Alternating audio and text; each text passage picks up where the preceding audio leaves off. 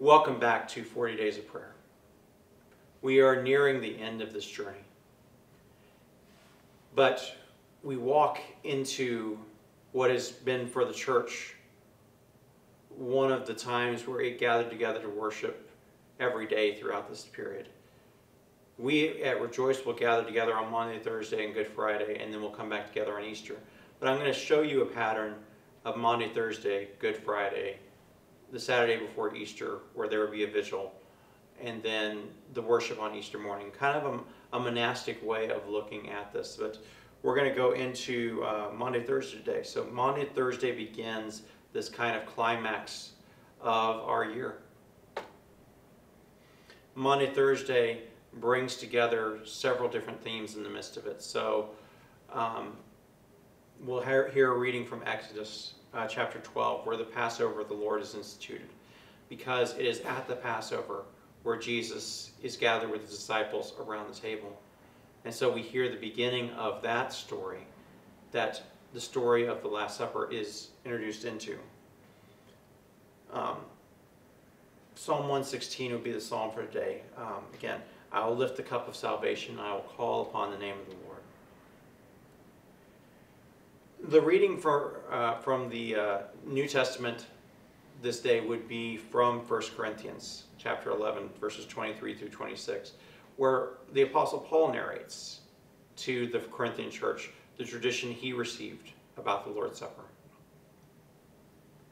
Now, we often read, and, and we will at our worship on Thursday night, the narrative in the Gospel of Luke about the Lord's Supper.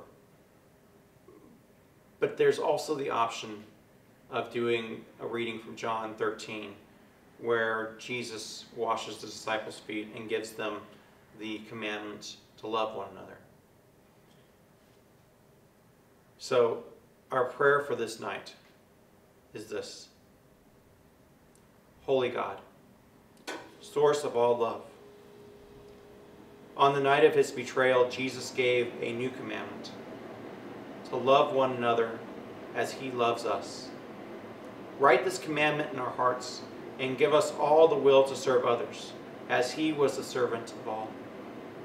Your Son, Jesus Christ, our Savior and Lord, who lives and reigns with you in the Holy Spirit, one God, now and forever. Amen. on this night, we mark what we celebrate every Sunday in worship.